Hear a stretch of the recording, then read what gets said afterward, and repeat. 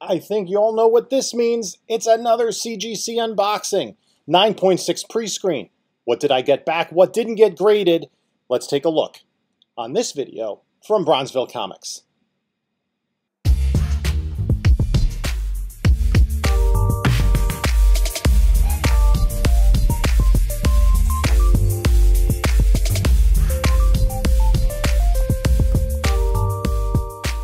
Hey there, comic book community. This is Jim from Bronzeville Comics coming to you with another video and another CGC unboxing. Before we get started, please like, comment, subscribe. We're coming close to our 3,000 subscriber giveaway and the long overdue 2,500 subscriber giveaway. We're going to do live at 10 p.m. Eastern Time on Tuesday, November 1st. So, um, uh, also follow us on the other socials uh, at. Um, Instagram, Bronzeville underscore comics. Also on Whatnot, Bronzeville underscore comics.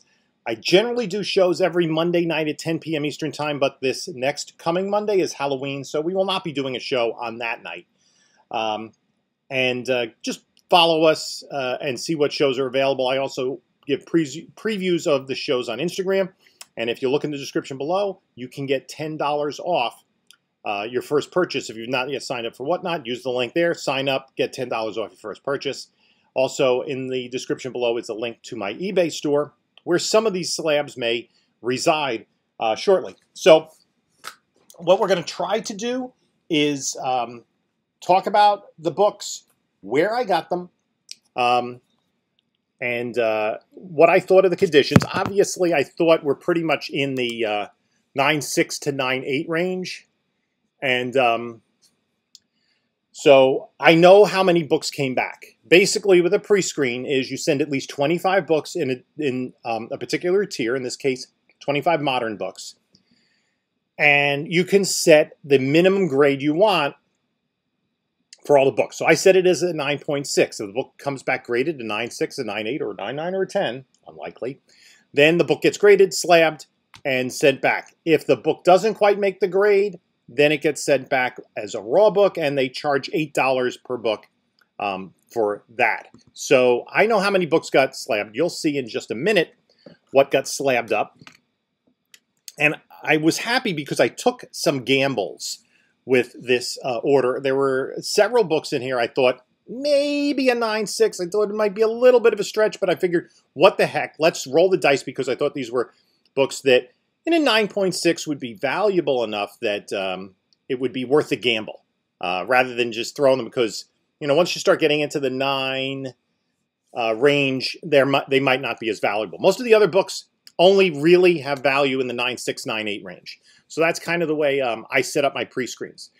Now, I submitted these books. Let me take a look. Um, these When these books were sent in, it usually takes about an extra month to do a pre-screen. Um, so let me find my CGC submissions. And I sent in the pre-screen through my LCS on July 27th, and I got it back on October 25th. So just under three months to get back a 9.6 pre-screen. Um, so let's look at the, the, books that I got there, um, and we'll talk about where I get some of them. Some I got through collection, some I picked up, um, and I'm going to have to kind of check how much I paid for these. I think some of them I got like, uh, you know, kind of estate sales and stuff. So I don't know the grades. Obviously, if they're graded, they're either 9.6 or 9.8. Um, we'll see how many came back, and then we'll put the fair market value on the screen um, in post-editing. So let me um, go to my screen here. So this is always a little bit nervous time so the first book is Infinite Crisis 5. This is the Perez cover. Uh, this is the first appearance of Jaime Reyes, and as far as we know, DC is going ahead with um, the Blue Beetle movie. This is the first appearance of Jaime Reyes as Blue Beetle. There is also, I have several of these in this order. I think I have four of this book. Um, and I thought that, uh, you know, they were, I have, yeah, one, two, three, four in this order. Um, I thought they were potential 9.8s. Certainly hope uh, for at least a 9.6. Um, the Jim Lee cover, which has Blue Beetle on the cover, is more um, is worth more money. So this one came back as a 9-8 white pages. Yay, one for one. So I'm going to make a 9-8 pile and a 9-6 pile. So that is a success. Um, and hopefully, I'm to inspect the slabs. The box looked like it got dinged around a little bit, but hopefully um, the packaging is enough to protect it. Here, Animaniacs, um, number one. I bought this, and let's see. Um, Animaniacs Christmas Special from 1994. Now, this is a modern order, but um, only, I think, seven of the 25 books were from the 21st century. So um, I want to check how much I, I bought this for. Um, and the reason I got this book is because when I was doing my 1990s DC list, it was in the top 10 of one of the years. Um, and I, I didn't have it in my collection. Animaniacs. Animaniacs Special. What did I purchase this for? Um, $17 on eBay. That's including shipping and tax. So uh, obviously, is the 9.6. I, this is the first appearance of the Animaniacs in comics. 9.6 white pages. Okay, not as much as a 9.8, but still, I only paid 17 bucks for it. So um, not disappointed with that. There was some discoloration close to the UPC box. Um, no, I'm sorry. There were some small ticks in the back cover. Okay, that um, not not disappointed in that. Um, would have liked the 9.8, but you know, we'll take the 9.6. Ooh, All-Star Squadron 25. Um, this book, I I had sent it in in a previous 9.6 pre-screen, and it came back as rejected. Subsequently, I got a copy back in a 9.8. So All-Star Squadron, I'm not sure what order these books are going in, and I'm wondering if they're in any sort of order if the Amazing Spider-Man book I had in here did not get graded. Um, I picked up a bunch of these books. Actually, I just picked up a copy of this book uh, this past weekend. You may have seen on my haul video. Uh, All-Star Squadron 25. Um, I bought this book for, that's cover A. Um, I spent $32.51 on eBay for this book. So even in a 9.6, it's going to um, come back pretty good. And obviously, it's not keeper because I already have a 9.8. Uh, this came back as a 9.6 white pages. Okay, still, um, that's a good book. First appearance of um, Nuklon, who becomes Atom Smasher. Uh, the rest of the first appearances of Infinity Incorporated, um, Atom Smasher in the Black Adam movie. So um, that is a, a book, and it, the plastic sleeves that that they're in now are a little little thicker than what we've seen before. Infinite Crisis three. This is the first appearance of Jaime Reyes um, in in cameo before he becomes Blue Beetle. Um, what does it say there? It says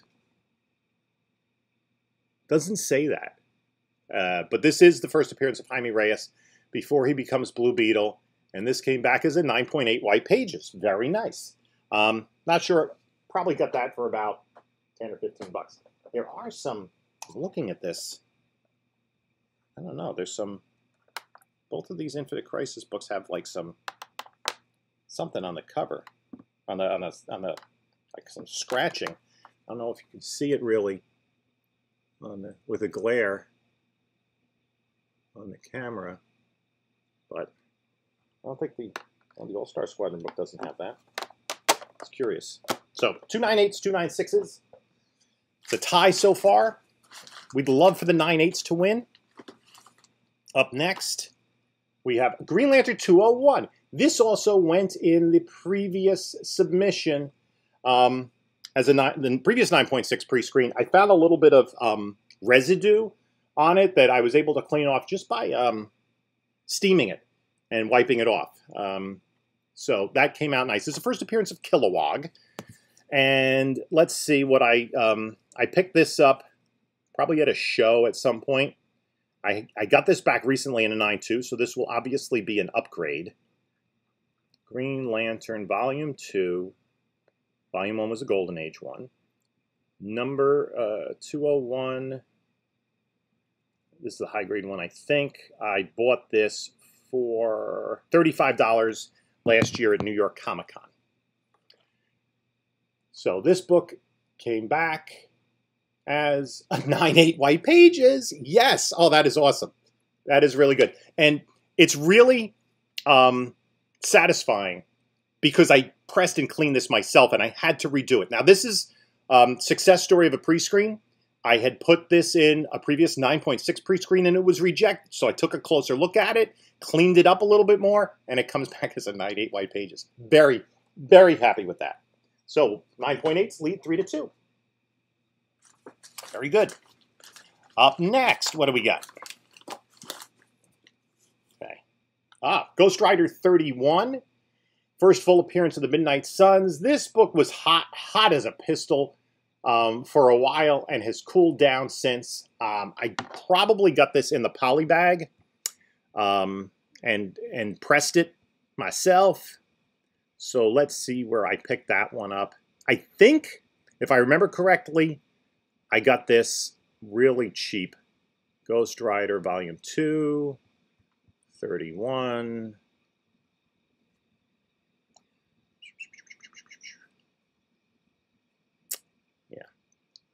There's, this is not the one I got.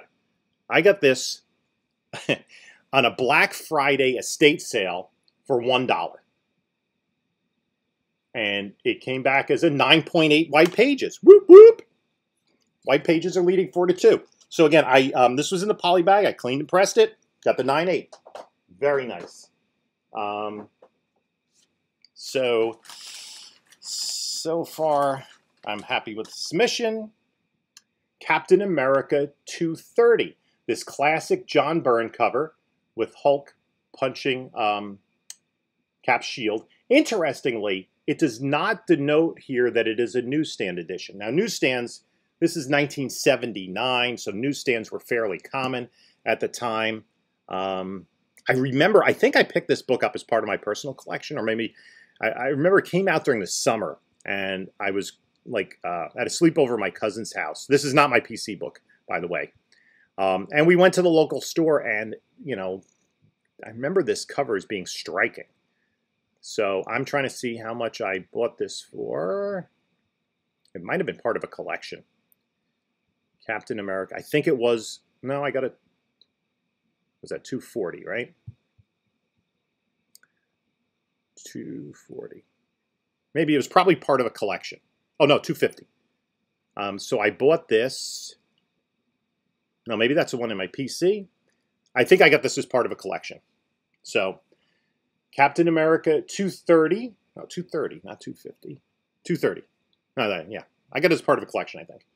Um, if I remember correctly, it's probably uh, a collection I got around Thanksgiving of last year. So this came back as a 9.6 white pages. Still, nice book to have. Nice little key there. Just a classic cover. So 9.8s are still holding on. The lead is 4 to 3. Next up, I saw the 9 point something, but I didn't see the the, 10th digit. Um, another Infinite Crisis 5, first appearance of Jaime Reyes. 9.8 white pages, very nice. That's two of the four I submitted. We're up five to three, the white, the 9.8s. Um, what is next? Let's find the next book. It's a little difficult. They have these thicker um, plastic baggies around them. I'll show you. There's another Infinite Crisis 5. Um, I'm just going to show this. This this this bag is poly bag is thicker than what they've sent in the past. 9.6 white pages. So yeah, can't win them all. Five to four. The nine eights are leading. Let's do better on this one. Let's see. Um, I think I submitted one more of the Infinite Crisis, and there it is. Infinite Crisis 5, first Jaime Reyes the Blue Beetle, 9.8 white pages. So three of the four came back as 9.8 white pages. Very nice. And they all had things on them. I made notes um, on what was up with them. Probably I got these for like $15. You know, I bought so many of them.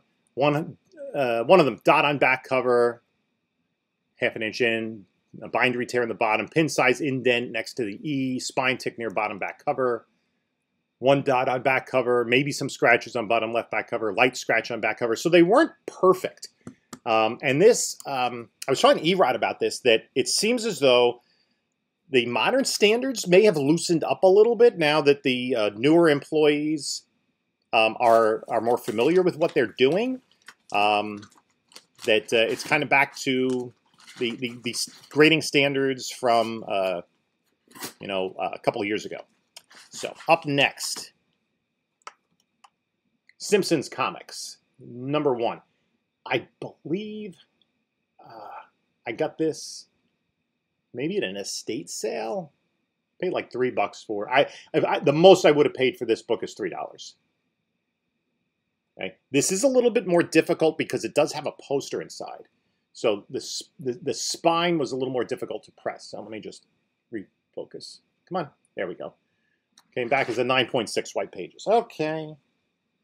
So we are at 1, 2, 3, 4, 5, 6. 1, 2, 3, 4, 5, 6, 5. 9 8 is still holding on to the lead, but barely. We need more 9 8s. Next book Oblivion Song, number one. Um, this is something where Jake Gyllenhaal has been attached to this project. It's been optioned, uh, but not a lot of news of it lately. I got this uh, recently at um, the Stormville Flea Market for like five bucks. Uh, it was a really bad vendor. They, they everything was five dollars, and not a, this should have been a nine eight. Yeah, nine eight white pages. We'll hold on to this to see if there's more news about this show, but um, Robert Kirkman uh, story. So we'll see about that. Um, that I thought was a 9.8 all day. That is the most recent book in the submission. As you can see, most of the other books are like 90s, 80s, even 70s books. So we're now, what, 7 to 5? The 9 8s are leading. Ms. Marvel 17. This was part of a collection that I picked up um, early last year. This is um, the this is the first full a cameo cameo of uh, Mystique, and I thought this was pretty sharp. So I got this as part of a collection. Um, so no, can't really assign a you know a value, but I got it for just a few bucks really. If you divide the number of books by the value I paid for the collection, nine eight white pages. Yes, nice, nice. Uh, getting a nine eight on a book from 1978 that I cleaned and pressed myself. Um, very, very happy with that. Very satisfied. 9.8 white pages. And um, I thought, you know, again, was it perfect? There was a tiny abrasion on the bottom right front cover. I think that was actually notches from like maybe the way the book was shipped. Um, so it would be a production issue. But yeah, 9.8, 8 to 5. Yes. Awesome. Awesome. And I did take some gambles on this. Uh, I haven't seen any of the gambles come across yet, so we'll see. Uh, Invincible Iron Man, Riri Williams' first cover appearance. Um, I probably paid, let's see, I probably paid a little bit of money for this when it was like a, a hot, hot, hot book, but um, I have like two nine eights already. Um, so it's hard for me to determine which one is which. Uh, number one. Uh, I paid, let's see, for this one, I probably paid 40 bucks. Yeah, probably about $40. So not a big profit margin on this, even if it's a 9.8, if it's a 9.6 small profit margin. 9.8 white pages, very nice. This is trickier for me, and I'm learning with that because it has the digital uh, code. Interestingly, if you didn't see, I did an unboxing where I had two copies of this, one with a digital code and one without. Both came back as 9.8 white pages and no uh, notation about the digital code. 9 to 5 for the 9 eighths. Very nice. Okay. Up next. Ooh, this was one of the ones I took a gamble on. This was from a collection, X-Men 117. I'd be surprised if it's a 9.8. Um, it doesn't really have any huge key significance. What does it say there? Get the focus on there. First appearance of Shadow King, uh, origin of Professor Xavier, Lilandra, and Misty Knight appearance. Okay? So X-Men 117, this was the books, one of the books I was like, let me put it in there. If it comes back as a 9-6 or better, great. 9-6 white pages. completely happy with that. Again, um, this was part of a collection, a book I cleaned and pressed, and I knew that 9-8 was unlikely, but I thought 9-6 was possible. There are two spine ticks, um, kind of in the Marvel box. I, I don't know if you can see it. That's probably what limits it. Right by Nightcrawler's Nightcrawler's jaw there, there's the spine tick. And there's uh, there's another one right about there. That's a 9.6. Absolutely. I would have been, like I said, surprised at a 9.8. Very happy with the 9.6. So I think we're at 9 to 6. 1, 2, 3, 4, 5, 6, 7. Yeah, I think it's 9 to 6. The 9.8s are leading. So that one is a plus because I didn't expect um, a, a, a 9.8 for that. Right? I, I, saw the flaws, but I thought the flaws could still get the nine six, and it did. Um, this one I thought a little bit better of. This was the same collection. I thought this was clean. This is the first appearance. I always get confused. It's first appearance of Forge, right? Yep. First appearance of Forge, hoping for the nine eight. Oh, that hurts. Nine six white pages. I had this, my notes of this, I had it down as clean. So I don't know what knocked it down. Still a good value book in a 9 um, 6. But this is this that, that's a little bit of a surprise because I thought it was pretty clean. 9-7 in favor of the 9-8s. Um, up next, X-Men Adventures number one. I I bought this, I think, let me see. I bought this when the announcement of the animated series reboot came out, so I probably, um, I think that's what I did. Um, X-Men Adventures number one, yeah. I'm just looking at my CLZ app to see. Uh, I paid $46 for this. I, I kind of overpaid for it. Um, it's the first uh, issue of the TV series, first appearance of Morph, and it came back as a 9.8 white pages. Okay, I'll take that. Yes, very good. Very happy with that. So we're at 10 to 7, I think. Um, so, so far so good. Up next, um, Superman number four, first appearance of Bloodsport. Idris Elba played Bloodsport in the um, Suicide Squad movie. I had I had bought two nine eights of this like a month before the Suicide Squad movie came out, and then I sold them right at the height. The weekend the movie came out, the, the book went nuclear, and like the highest sale and a nine point eight. Uh, that's that's my sale. Um, so I'm trying to sign Superman Volume two. Uh, I bought, let's see, bought two of these because I have two, two of these in the submission. I thought they were both really clean. Um, one I bought for $20 and one I bought for $2. And I thought they were both pretty clean. So I'm I'm of the belief that Idris Elba's coming back to play more Bloodsport. Um, and if it's done by James Gunn, it'll be done right. 9.8 white pages. Very nice. 11 to 7. So, I, yeah, I thought that was a 9.8 all day. Another one. I also thought this was really clean. 9.6. I'll say this is the $2 one. I thought they were both really clean. Maybe this is a Mint Hunter um, moment where I think there should just be one book left, one graded book, and then we got five books that did not get graded. Um, yeah, I, there's one I took a gamble on. Um, this is X Men Five first full appearance of Omega Red. Um, where did I get this? I probably got this for like, you know, like a dollar or two. I, I did not pay for this. X Men Volume 1, number 5. I have a couple of these. Yeah, five dollars. I bought this at the uh, Black Friday estate sale. This should be clean, 9.8 white pages. Excellent. So I believe I got 12 9.8s and 8 9.6s. I call that a success. Now, the books in here, um, I took a gamble. One of them I'm just going to probably throw into a regular modern order because it is a, a, pri a pricey book. Um, and the one came back with grader's notes. So this one, This is with the first appearance of um, Calypso.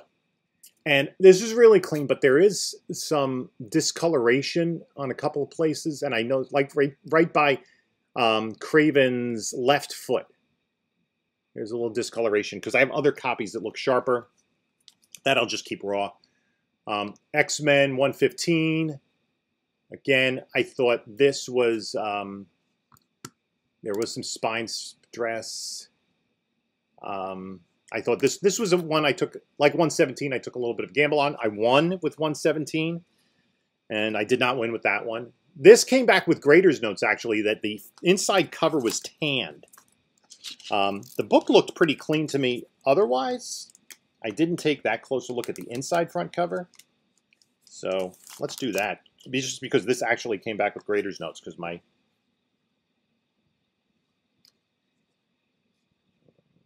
maybe I mean, I don't know.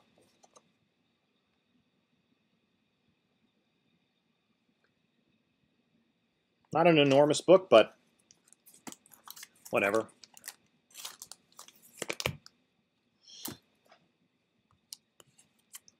Uh, this oh, this one I thought was really clean. I, I didn't think this was a game. What the, my notes on this were? I, this is a pricey book.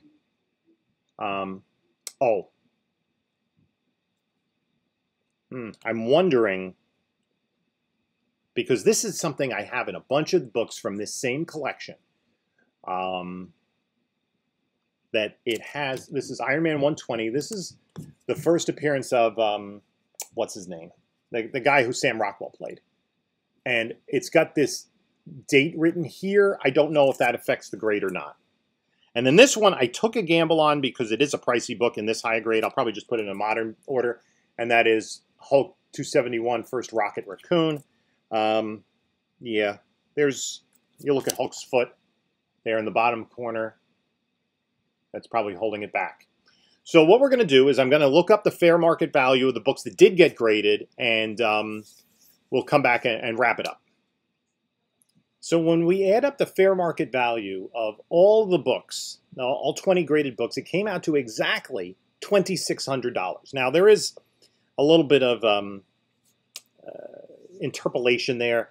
Um, the Anima, Animaniacs Christmas special doesn't really have any sales in a 9.6, so I put that, you know, about $100. Um, some haven't had sales in a while. The Oblivion song is only going for $30 right now. Um, that's kind of sit on it until we hear more. But, the, you know, the the biggest books, uh, the X-Men Adventures, number one, in a 9 to 8 back in July, sold for 293 That's maybe cooled down a little bit, but that's what I have it as the last sale. And then the Green Lantern uh, 201, the first Kilowog, uh, has a fair market value of $304. I'm very happy with that book. And then really the, the best book actually is the Ms. Marvel 17. A cameo appearance of Mystique has a fair market value of $408. Um, and I went through, I think, pretty much every book. I told you what it cost me out of pocket. A lot of them out of collections you know, kind of a handful of dollars. You know, um, I figure if I buy a, a collection, like uh, a large collection I bought last year was about two thousand books. I figure it's about four dollars a book. They're all books from the Silver and Bronze Age. Some sell for less than four, but most of them more than four, even in raw form, even the filler issues. Um, so if I put that at four dollars, that's a pretty good estimate. So um, again, I'm very happy with doing the 9.6 pre-screen. Um, there were just a couple of books I was disappointed in. I was disappointed that the second Superman 4 came back uh, not as a 9.8. I got 198, 196, and maybe James from Mint Hunter is right. Don't submit the same book um, in the same submission. And uh, the other one I was uh, disappointed in was the first Forge, the X-Men uh, 184. That that only came back a 9.6. I thought that was pretty clean. Um, the rest, I'm happy with. Uh, you know, the, the books that got rejected, I took I took a few gambles and they didn't pay off, and that's what a 9.6 pre-screen does. And that Kilowog book, the Green Lantern 201, I had put that in a 9.6 pre-screen months ago. It came back rejected, cleaned up, resubmitted. It comes back as a 9.8. So that was a big win for me. Um, again, I cleaned and pressed all these books myself, so um, I'm happy with the cleaning and pressing job I did. Good job, me. Um, so, uh, you know, I, I, did get the books I thought up into a condition that they were getting good grades. And again, you saw that some of these I spent almost nothing for. Uh, you know, $5, $2, $1 in state sale. So um, that is going to be it for this video. I do have more unboxings coming. I have actually another full 25 book submission that uh, I picked up for my LCS today, picked up two submissions. So I'm going to open that up later. That'll be a video you'll see probably within the next week. So just keep an eye on the channel. I'd like to thank everyone for their support. Again, Tuesday night, 10 p.m., we're going to be doing our um, uh, 2,500 subscriber giveaway, and we'll probably do the 3,000 subscriber giveaway hopefully at the beginning of December. So we can take a look at a couple of other videos that I've posted. And this is Jim saying until next time, enjoy your comics.